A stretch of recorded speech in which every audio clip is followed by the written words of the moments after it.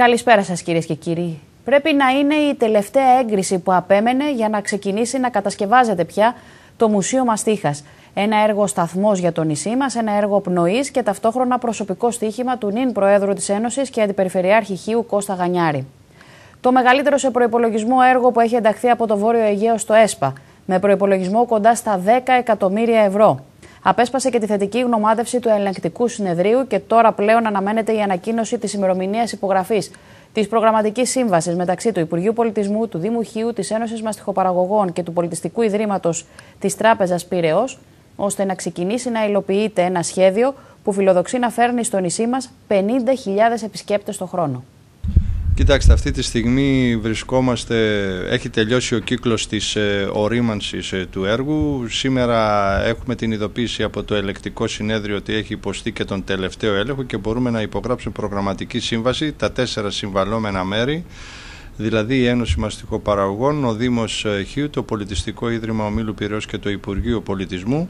Ε, μπορούμε από εδώ και πέρα να υπογράψουμε την προγραμματική σύμβαση η οποία δεσμά, μας δεσμεύει όλους όσον αφορά τις υποχρεώσεις μας που αναλαμβάνει ο καθένας έναντι αυτού του... Λίγες μέρες έμειναν μόνο μέχρι την έναρξη του κυνηγιού και η κίνηση στον κυνηγετικό σύλλογο Χίου η Άρτεμις είναι αυξημένη αφού παρά την τιμή των αδειών που είναι λίγο αυξημένη σε σχέση με τις άλλες χρονιές πολλοί είναι εκείνοι που είτε ανανεώνουν τις άδειες είτε εκδίδουν καινούργιες. Παρ' όλα αυτά, όμως, και όπως δήλωσε και ο Νίκος Μπουμπάρης, αν και έχουν στείλει σχετικά έγγραφα, δεν φαίνεται να επαρκούν οι προβλεπόμενες μέρες για το κυνήγι της Πέρδικας και πλέον φοβούνται για λαθροθυρίες.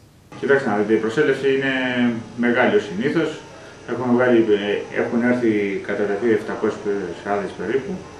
Ε, εντάξει, τώρα αυτή η εποχή είναι, ο κόσμος έχει μεγάλη προσέλευση.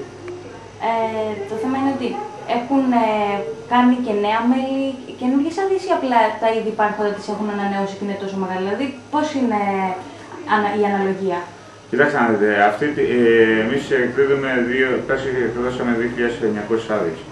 Ε, αυτή τη στιγμή έχουμε 700, πιστεύω ότι μέχρι να ξεκινήσει το κυνήγι ε, θα πάνε γύρω στις 1.000 άδειες ε, που συνήθως αυτή την εποχή κάπου τόσο. Τώρα, συνέχεια βγαίνει δηλαδή μέχρι την Πέρδικα, θα φτάσουμε περίπου σε 2.600-2.700. Καταγγελίες από την περιοχή της Ιχθιόσκαλας έχουν γίνει τον τελευταίο καιρό στο τμήμα καθαριότητας του Δήμου Χίου σχετικά με τους κάδους που βρίσκονται έξω από το κτίριο.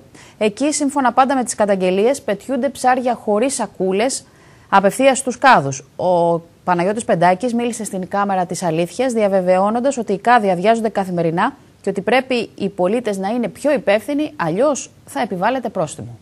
Ε, επειδή το πληροφορηθήκαμε και εμείς από εσάς την, ε, πριν λίγες μέρες, ε, ήδη πήγε ο πιστάτης εκεί και έδωσε εντολή και οι κάδοι αυτοί ε, πλήθηκαν όπως και η περιοχή.